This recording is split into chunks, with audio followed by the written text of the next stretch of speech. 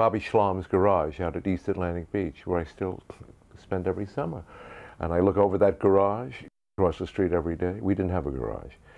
And uh, yeah, we put on, I, Bobby and I were looking at Life magazine in 1949, and it said, uh, two boys spend their summer making a movie.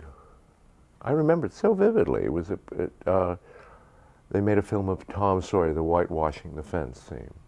I said, this gets them a spread in Life magazine. So I said, I'm going to write three plays. We're going to put them on. And uh, I did. And we went up to, because it was too important. We didn't have a phone, but Bobby did. But this was too important. So we went up to Bruce's candy store, three blocks away. And I called up Time Life magazine. And I said, Time Life? I said, yes. I, I, there's a very interesting story. There are these two boys who are spending their summer vacation, and they said, Time Live? I said, well, no, there are these two boys who make a wonderful story.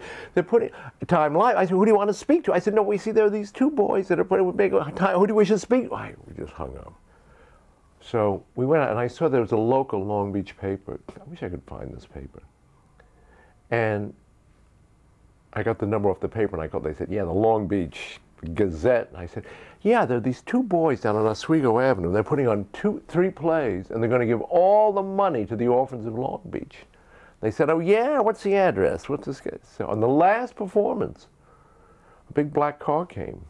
People, like, it came out, reporter, photographers, took our pictures, did a story.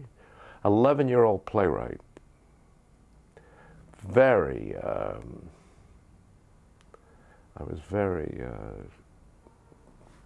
there it was, in print, there it was. You had arrived at 11. That was it. Downhill. No, it was sort of, no, I, but it was amazing. I just felt, oh, I said, that's all you do? That's it? You write a play and you put it on, and there it is. Yes.